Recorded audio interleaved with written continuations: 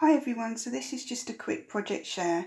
So I made these paper flowers after watching Dawn's video and she did a tutorial on how to make them.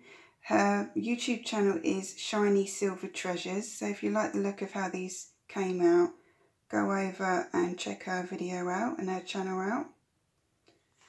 I really like how they came out. Sorry if I've got the shake slightly. But I said to Dawn as soon as I'd made some that I was going to do a video to show her.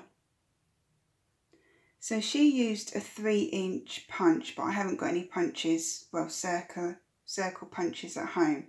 So I just used this, is one of my baby's toys, and this is one and a half inches. And it made the bigger ones. And then I made a template of the inside of this washi and this is just slightly over one inch and it made the smaller ones.